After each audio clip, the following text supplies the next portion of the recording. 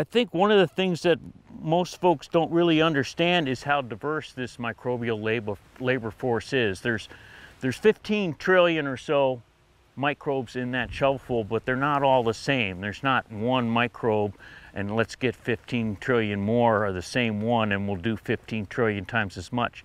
They have, it's, it's just like human labor and a human um, society where there are, let's say, let's call them unskilled labor.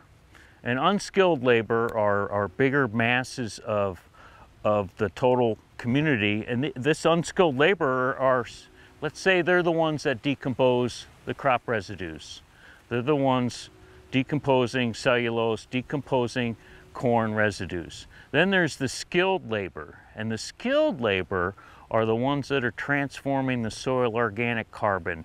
The little, it's a lot tougher um, molecules to break down, and by breaking down the soil organic matter, they're actually creating new forms of soil organic matter at the same time. So this is your skilled labor. You need to have a, some different functional capabilities to degrade soil organic matter like humic substances, and so I'll call them skilled laborers. And then you have the teenagers, you know, you got to get them a summer job, right? You, you got to, you know, and they're working at Burger King or something. And, and for the bacteria, the youngsters are working on plant exudates. They're hanging out by the plants. Plants are leaking all these sugars and organic acids. It's a free-for-all. And these youngsters, they don't have a lot of skills yet, but they sure know how to gobble up this sugar.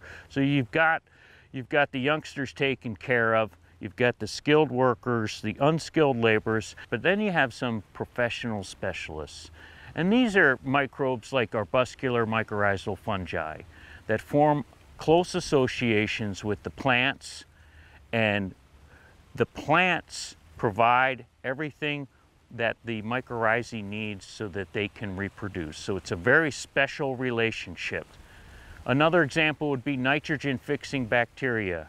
The nitrogen fixing bacteria and blue-green algae uh, or cyanobacteria are the only organisms on earth that, are, that can fix atmospheric nitrogen and bring it into the land. These organisms have very special capabilities that none other have, and so I consider them as professional specialists. They have a very specialized function. They're communicating they are communicating chemically. The, the soil microorganisms and the plants are sending chemical signals back and forth to each other in the soil that stimulate certain activities.